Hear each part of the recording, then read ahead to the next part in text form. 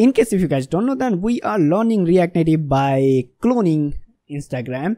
And we build this app so far. And now we want to build the section where we will get the profile. And below that profile will have the images or the post that particular user is posting.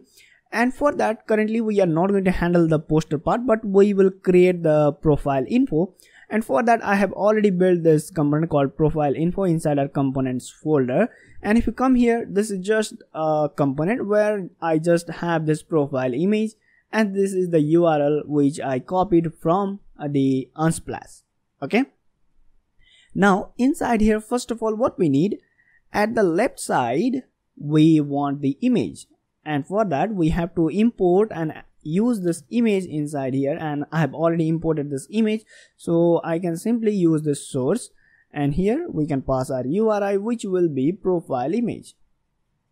But if I save this nothing will happen and you know why and that is because whenever you, we use any remote URI then we have to specify the width and height. And I'm going to create this profile image right here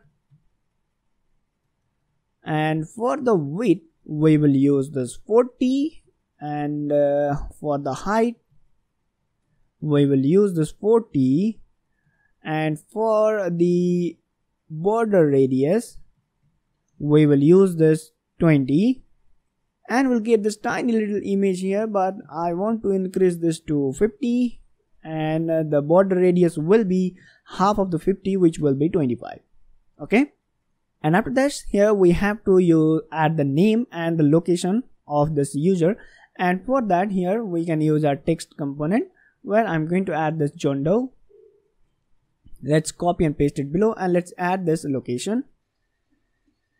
And now if I save this that's how it looks. But now here we want to use our flexbox so for that now inside this container because currently we are wrapping them inside this container I'm going to add this flex direction and I'm again telling you this inside React Native the by default view is flex. So we can simply add this flex direction row. But we don't want this kind of look. We want this uh, name at the top and the location at the bottom of this name. And for that here we can wrap these text inside this view like this. And that's how it looks. Now we can add this item center align items uh, center. And now inside these text I'm going to add some styles. So styles for the first one this will be name and this will be location. Okay? Inside here I'm going to use this name and this will be font size 16 and also I want to make its uh, font weight bolder. So I'm going to use this 700 and this looks fine.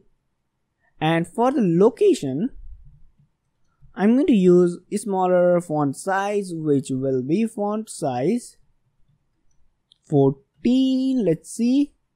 And I think 14 is the default uh, inside React Native. So let's use this 12 here and uh, this is not local storage this needs to be location what i'm doing. And yes this 14 is the default one. So i'm going to decrease this to 12 and you can see the change. Now i want the gap in between this uh, image and this title or this name. So for that here we can add this style. For this div which will be styles dot profile container I'm going to create this after this container where we can what we can do we can use this margin right. And not margin right by the way this needs to be margin left. And this will be let's add this uh, 10 and I think this looks uh, way much so I'm going to use this 8 and that's fine now also here at the corner we want to use that three little dot which will be the option. So for that we can go to our icons icons.expo.fyi and here if you search for the options then you will get something else. But here I want to search for this ellipsis. And if you come a little bit down then I'm going to use this ellipsis vertical from inside this Ionicons now I have to paste it right here and I'll copy the icon itself and I'll use it right here. Now if I save this that's how it looks but I want this here at the right side at the corner and for that inside this container we can use this justify content space between and that's how it looks but we don't want this kind of effect so for that we have to now group this image and this uh, title this name and the location. So for that we can use view. I'm going to cut everything out. We will use this view. And here we are going to add all these content. But now this is how it looks.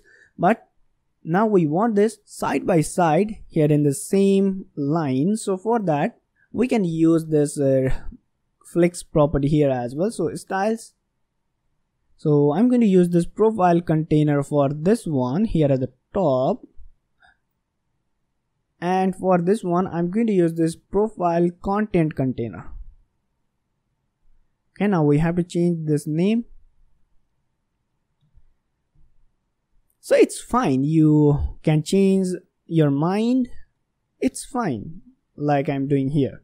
Okay? And this is not fine just because i'm doing this but it is fine now inside this profile container. What we can do we already have this thing here because we already have done this inside this container. So i'm going to copy all these things. I'll paste them here. Now this time we just don't want to use this justify content. We'll only use these two properties. Now if i save this that's how it looks and the one more thing that here I want to do I want to give them some padding horizontal.